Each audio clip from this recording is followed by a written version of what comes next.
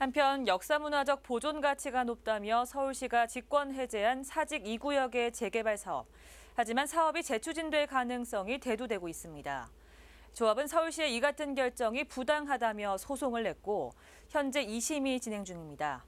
사직 2구역의 재개발 갈등을 송지현 기자가 취재했습니다. 마치 폭격을 맞은 듯 벽이 뚫려 있고 장마철에 내린 폭우로 지붕이 내려앉았습니다. 전체 180가구 중 절반가량이 비어 있습니다. 재개발이 중단된 사직 2구역입니다. 이렇게 집들이 노후화된 채 방치된 이유는 서울시의 오락가락하는 정책 때문. 사직 2구역은 2012년 서울시로부터 재개발 사업 시행 인가를 받았지만 서울시가 2015년 역사도심 기본계획을 수립함에 따라 사업 계획을 전환해 2구역을 보존하고 도시재생을 추진하고자 한 겁니다. 하지만 조합 측은 도니문 1구역 등 다른 구역과의 형평성을 제기하고 있는 상황입니다. 특히 도니문 1구역의 경우 사직 2구역보다 더 역사성이 짙은 곳이지만 비슷한 시기에 재개발을 시작해 이미 입주까지 끝냈다는 겁니다.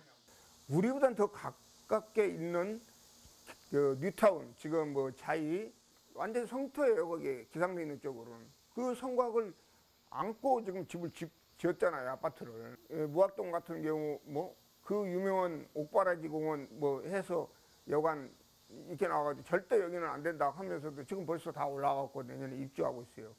결국 조합은 서울시와 종로구를 상대로 직권 해제 및 조합 설립 인가 취소에 대해 행정 소송을 제기했고 1심에서 승소했습니다.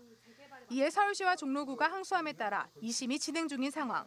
소송이 끝나지 않은 상황에서 서울시가 주거 환경 관리 사업을 시행하려고 하자 조합 측은 건축 심의와 건축 허가를 막아달라는 집행정지 가처분 신청을 했고 지난달 조합이 승소했습니다. 서울시는 이에 대해 아직 2심 소송이 진행되고 있는 만큼 결과를 지켜보겠다는 입장입니다. 텐데 뭐 소송 진행 중이다 보니까 네네. 그거는 이제 소송의 어떤 뭐 추이를 좀 봐야 될 부분들이 일부 있죠. 도시계획이라는 게 일정할 수는 없잖아요. 예전에 예전의 계획과 현재의 계획은 다를 수가 있고 그 과정도 또 다를 수가 있어요.